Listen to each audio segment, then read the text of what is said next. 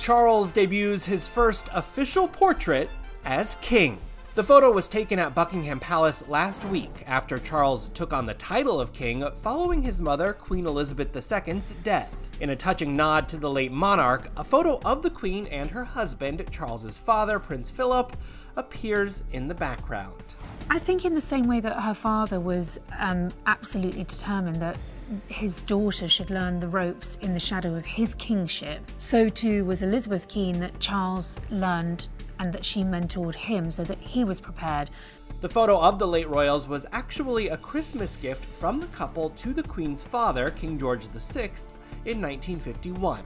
Now, we don't know when His Majesty inherited that image, but what we do know is what Queen Elizabeth left behind for the King. The Queen passed on the Duchy of Lancaster estate to King Charles, and that is worth anything between 715 and up to 900 million pounds. It's a huge amount of money because, quite simply, it is a massive swathe of land and premium real estate around the United Kingdom. I would imagine that with the king, it'll be again his flunkies who pull out the credit cards or the cash. I remember on one occasion being in Malta with Charles and Camilla on an official engagement, and I found myself in a bizarre situation shopping in a glass shop with Camilla.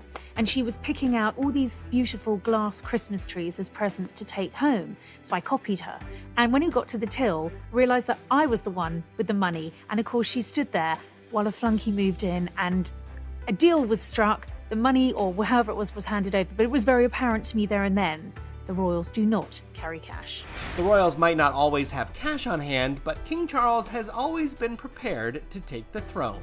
No one could have known that he was going to spend more than a half a century learning the ropes of being king. Certainly in the later years of her reign, the Queen would share important government documents, of course, with the blessing of the government, so that Charles could understand the legislation of the day so that he could get involved, as we know he did, because he lobbied ministers over certain things. But it was very important to the Queen that if he was going to have all these years in waiting, then he really needed a good grasp of how things worked. And she was very generous in that respect. And more recently in her reign, of course, you know, the Queen put down the foundations for Charles's future, the Commonwealth, for example. The head of the Commonwealth is a title that the Queen passed on to Charles before she died. It was guaranteed to go to him, and this wasn't a hereditary title. So, in all of those things, she was paving the way for the future King Charles III.